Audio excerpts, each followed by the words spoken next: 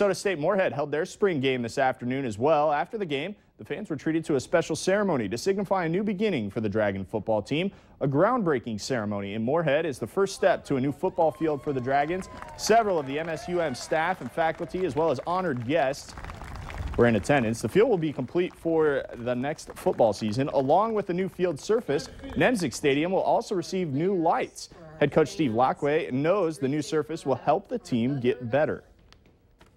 That's helped recruiting has been a huge piece, uh, and more so not just because of the facility upgrade, but also just the, the added people that are behind us and, and really wanting us to su succeed and having that kind of community to support has been huge. You know, there's nothing worse than you can't practice because it's snowy or because it's rainy, and so that's taken that variable out for us.